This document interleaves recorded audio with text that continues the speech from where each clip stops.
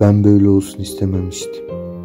Ya sana çok yakın ya senden çok uzak olmalıydım.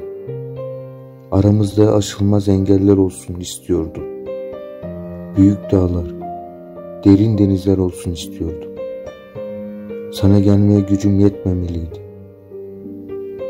Çaresizliğimin bütün hıncını mesafelere yüklemeliydim.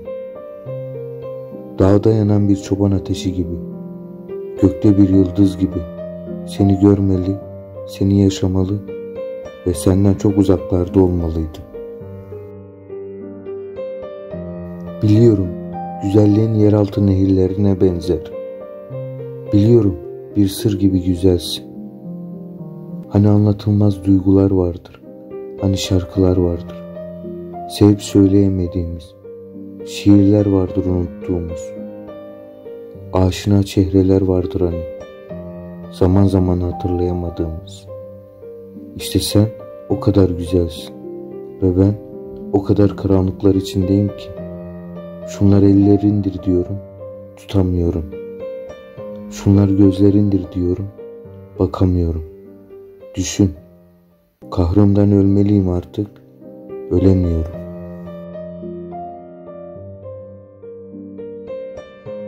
Şimdi söyle bana bütün çirkinliğimi, yalanlarımı, kötülüklerimi yüzüme vur artık.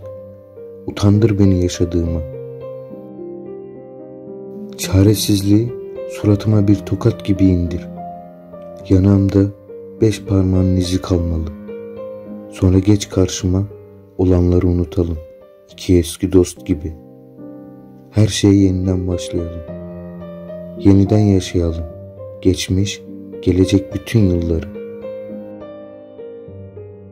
Bütün kederleri ve sevinçleri paylaşalım.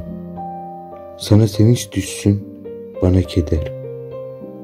Benim ellerimde kanlı diken yaraları, senin ellerinde kanlı güller.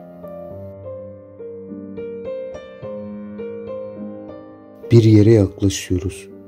Kulağıma sesler geliyor. Bir gemi demir alıyor olmalı. Belki bir adam ölüyor. Ne biliyorsun? Belki de bir sona yaklaşıyoruz. Yum gözlerini. Her şeyi zamana bırak. Yum gözlerini. Nasılsa akşam olacak. Korkma, yaklaş karanlığa. Orada ben varım. Çaresizliğimizi, zavallılığımızı gel beraber ağlayalım.